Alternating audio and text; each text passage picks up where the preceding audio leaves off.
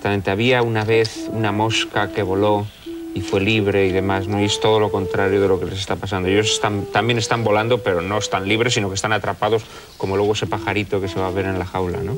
Creo que la música es un elemento muy importante en esta película. Todas estas cancioncitas que salen, no solo la de Robert Mitchum, que se nos queda grabada en la memoria, sino todas las que van apareciendo, que la mayor parte están en la novela, es decir, la letra la, da el propio autor. La de Jin Han esta, ¿verdad? La de Jin Han Hun. son una serie de, de, canciones muy, muy interesantes. Y aquí esta niña cuenta esta, o canta esta, de la mosca que vuela y vemos mientras, pues vemos aparecer la telaraña, vemos el sapo que también se alimenta de moscas. El bringing, bringing in the sea, ¿no?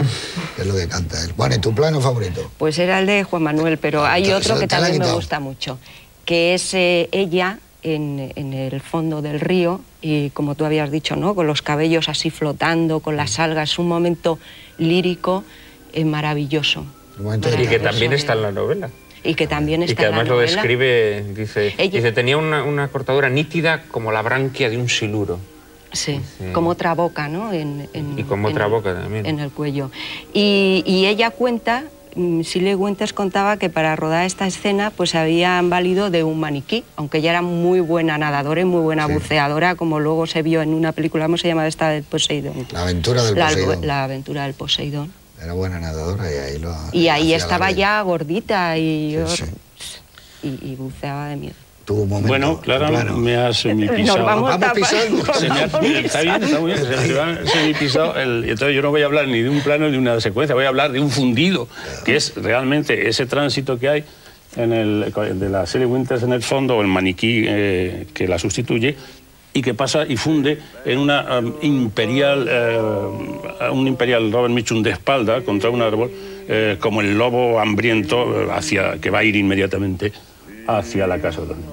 Esa transición entre la muerta y el, y el Mitchum chulo y, y de espaldas me parece una preciosidad en cuanto a intensidad emocional. Y a mí me gusta mucho también. Y la película está llena hasta arriba. La imagen de Mitchum con el farol de gas parpadeando por la noche el vestido de negro. Eso es una imagen tremenda, ¿no? Igual que ella con la mecedora, el momento que ella tiene el rifle, la mecedora y la cámara inicia un traveling hacia adelante y le vemos a él que está allí esperando y aguardando para al acecho, ¿no? El lobo al acecho y la madre defensora con el rifle para defender a sus niños. es una imagen de cuento de... Una cosa que molestó mucho a los críticos eh, europeos es la, la, imagen inicial, y con, esta, con Lillian Giesel en el cielo, eh, con los niños que aparecen.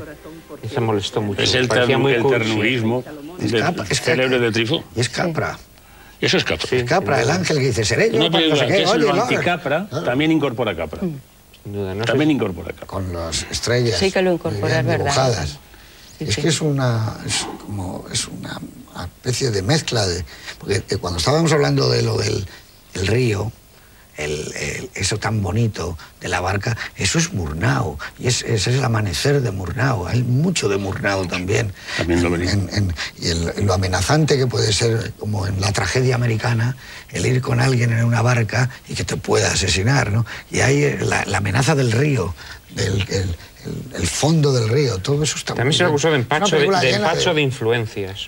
pero que yo creo que no, yo creo que hoy lo que nos resulta sugestivo de esta película es que toda esa, esa mezcla que nos descoloca... El collage de un director... Está muy bien integrado todo eso. Nos sitúa en ese mundo que pretende... Está perfectamente integrado. Porque tiene el argumento idóneo para integrarlo todo, tiene todo a, a, mano, ¿no?